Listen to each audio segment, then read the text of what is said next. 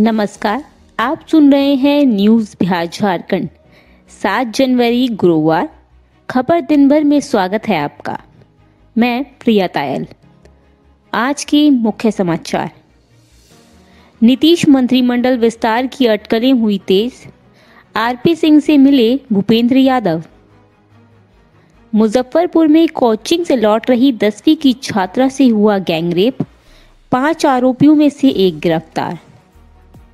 बिहार में स्कूल खुलते ही कोरोना पॉजिटिव मिले हेडमास्टर, बच्चों में बड़ा संक्रमण का खतरा। झारखंड के सीएम हेमंत सोरेन के काफिले पर हमले के मामले में दो पुलिस अधिकारी हुए सस्पेंड 26 लोग हुए गिरफ़्तार। पटना में अपने अंतिम संस्कार के लिए पैसे लेने पहुँची लाश, तीन घंटे के हंगामे के बाद मिले पैसे। अब खबरें विस्तार से।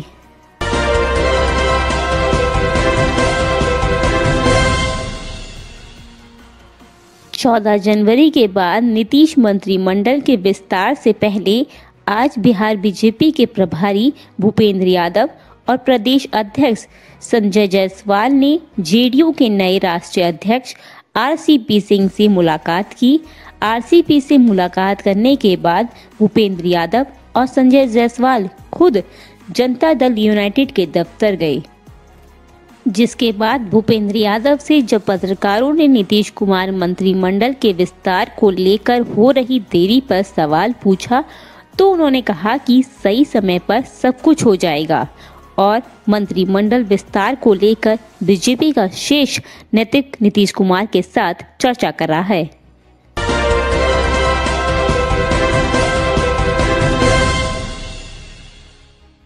बिहार के मुजफ्फरपुर ज़िले में कोचिंग से लौट रही एक दसवीं कक्षा की छात्रा के साथ पाँच दरिंदों ने हथियार के बल पर हैवानियत को अंजाम दिया है। पुलिस के मुताबिक लड़की को अगवा कर उसके साथ गैंगरेप का मामला सामने आया है। पुलिस ने इस घटना में पाँच आरोपियों में से एक आरोपी को गिरफ़्तार कर लिया है। पुलिस के मुताबिक दसवीं कक्षा की छात्रा सोमवार की शाम कोचिंग से लौट रही थी। तभी एक ब्लैरो सवार ने उसकी साइकिल को टक्कर मार के गिरा दिया। इसके बाद दो युवकों ने पीड़िता को उठाकर ब्लैरो में बैठा लिया और हाथ पैर बांधकर एक पेट्रोल पंप के झज्जर कमरे में ले गए। पीड़िता का कहना है कि कुछ समय के लिए जब सभी आरोपी कमरे से बाहर गए, तब वह कमरे की खिड़की से कूदकर भाग गई। इसके बाद ग्रामीणों ने पीड़िता को उसके घर तक पहुँचाया।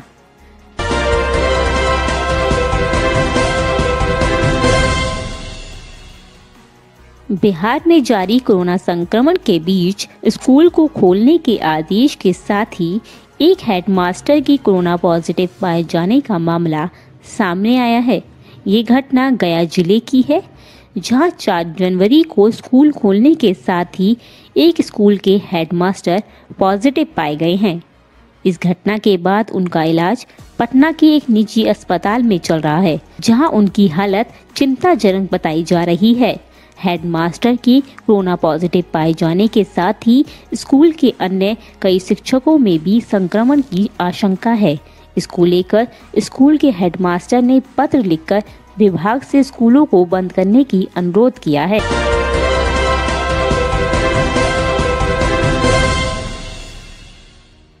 झारखंड की राजधानी रांची के किशोरगंज इलाके में सोमवार शाम को मुख्यमंत्री हेमंत सोरेन के काफिले पर हुए हमले की घटना को लेकर सुखदेव नगर और कोतवाली पुलिस स्टेशन के प्रभार अधिकारियों को सस्पेंड कर दिया गया है। साथ ही काफिले पर हमला करने वालों को लेकर 26 आरोपियों को जेल भेज दिया गया है। इसी के साथ सात और लोगों को हिरासत में लिया गया है और इस घटना के पीछे उनके मकसद का पता लगाने की कोशिश की जा रही है। दरअसल रांची के ओरमांझी इलाके से एक सिरकटी युवती का शव मिलने के एक दिन बाद घटना के विरोध में प्रदर्शन कर रहे लोगों ने सोमवार शाम को मुख्यमंत्री के काफिलों को रोकने की कोशिश की और पथराव भी किया।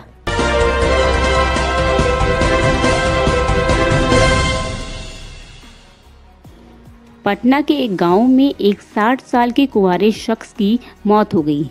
ये शख्स पटना के एक गाँव में अकेला रहता था। जब पड़ोसी को शख्स की मौत का पता चला, तब उसने अंतिम संस्कार करने के लिए उसके घर में पैसों की तलाश की। मगर उसे पूरे घर में कहीं भी पैसे नहीं मिले। हालाँकि उसे एक पासबुक मिला, जिससे मालूम चला कि मृतक शख्स के बैंक में करीब एक लाख रुपए हैं।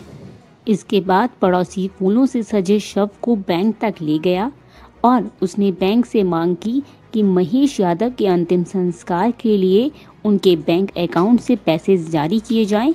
गाँव वाले चाहते थे कि महेश यादव के अकाउंट से कम से कम बीस हज़ार रुपये निकाल दिए जाएँ।